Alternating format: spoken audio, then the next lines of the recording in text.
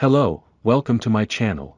Today I will tell you how to install two operating systems on two physical disks connected to a computer or laptop, and we will do it in a simple way without using a bootable Windows USB flash drive.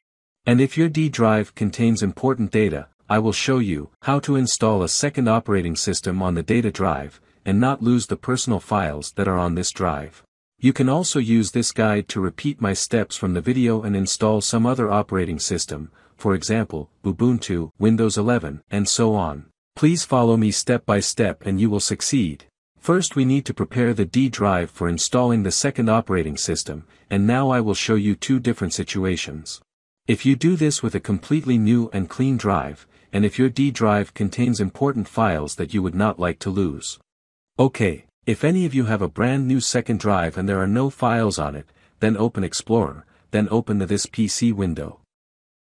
Right-click on the D drive and format it.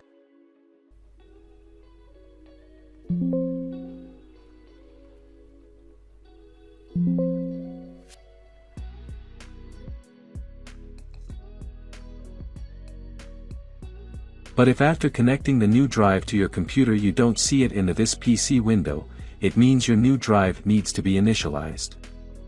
To do this, right-click on the Start button and select Disk Management. Now right-click on the new disk and select New Simple Volume. Here you can change the settings, create several partitions, but I will not change anything and click Next everywhere. Click Finish, and the creation of the new volume is complete. I'll open Explorer, then open the This PC window, and here we see our new disk for installing the second operating system. If your D drive contains personal files and you don't want to lose them, then you need to create a partition for the second operating system on the second drive. To do this, right-click on the button, Start, and select, Disk Management.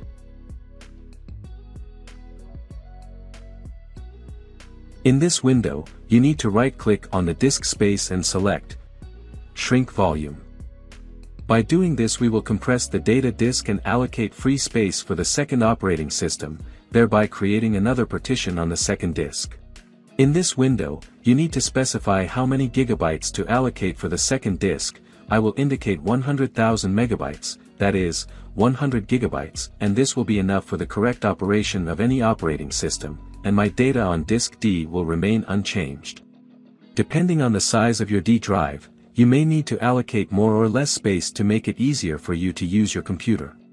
I click Shrink, and the result is that I have another drive with about 100 gigabytes of unallocated space, and now I need to initialize that partition. Right-click on the new disk, and select, New Simple Volume.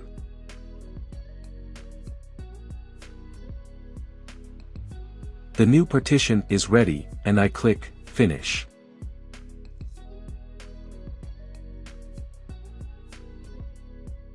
Let's open the This PC window, and see what we got. Yes, a new disk E has appeared here, it is on this disk that I will install the second operating system, and if your second physical disk does not have personal files like my disk D, follow my steps and now we need to download the Windows 10 ISO file to the computer from the official Microsoft website. Now we move on to the next step, open the browser and in the search we write, download Windows 10. Or open the video description, and follow the link to the Windows 10 download page. The Microsoft page has opened, here we can familiarize ourselves with the rules for installing Windows 10. Now we will download a special application to the computer, a tool for downloading Windows ISO, for this we will click, here. The application has been downloaded and our browser can be closed. OK. Let's open the Explorer and open the folder, Downloads. Double-click the icon and the application will launch. Here you must accept the terms of the license, accept. In this window, I choose to create a bootable flash drive. Next. If you uncheck the box here, Then in this window you can select any language for Windows 10. I leave English. Next. In the window that opens, we can choose to download the Windows 10 ISO file to our computer. Next.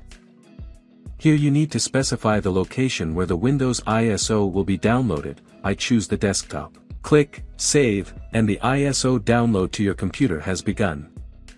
For a while, we don't need to do anything until the file is downloaded. The ISO file download is complete and to start installing Windows 10 on your computer, double-click on the ISO hmm. file and here we can see all the files needed to install Windows 10.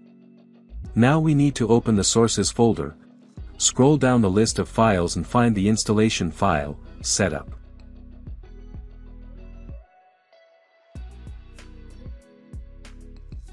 Now double-click on this file, and the installation of Windows 10 on your computer will begin immediately. In this window, click, No, thanks because you will be able to get all the updates after the installation of Windows 10 is complete.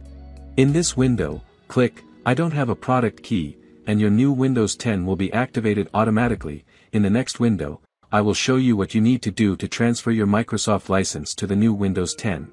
In this window, you need to select the same edition of Windows that is installed on your computer. If you have Windows Home installed, select Windows 10 Home, if you have Windows Pro on your computer, here you need to select Windows 10 Pro, then your Microsoft license will transfer to Windows 10 and the new Windows will be activated automatically. I have Windows 11 Pro on the first disk, so I choose Windows 10 Pro. Next. I accept the license terms. Next. To continue the installation, click here. In this window, we need to select the disk where to install the new Windows 10, here we see the C drive of my computer, several small system partitions, and they are all marked with the number 0. I will scroll down a little and here we see my second disk, several partitions, and they are all marked with the number 1. To correctly select the disk for the new Windows, you need to be guided by its size and name, for Windows 10 I created a partition called New Volume, its size is slightly less than 100 gigabytes, and to continue the installation, I click on it, and click, Next. You don't have to do anything for a while, you can relax and have a cup of tea or coffee. Your computer will automatically reboot several times. Please do not turn off your computer.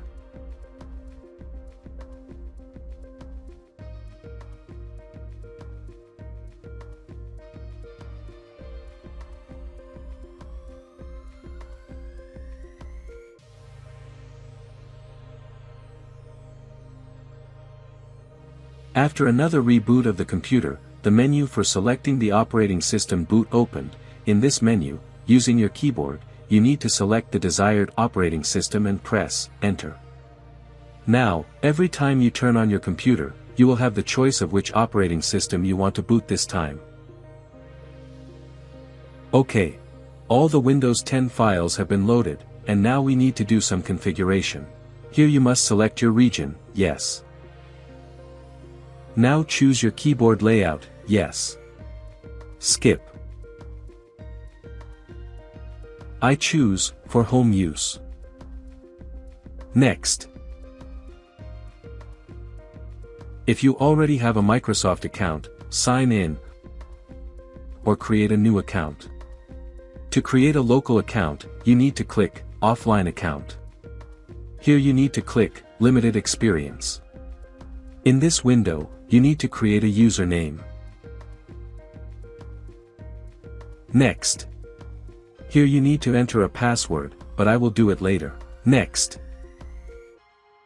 The new Windows welcomes us. There is very little left. Yes. I did and now I have a brand new Windows 10 on my computer. I hope everything went well for you too. Now I'll open settings, now I will open the section, Accounts. And here we see that my Windows is running a local account manager, and my account name is Malik. If you need to get a Microsoft account, click, here, and then follow the system's recommendations. Let's open the section, Activation. Yes, the new Windows 10 was automatically activated based on my digital license.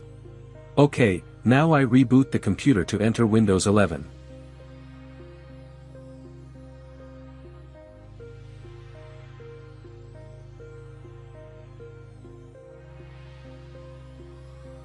The menu for selecting operating systems opens, using the keyboard I switch to Windows 11, and press Enter.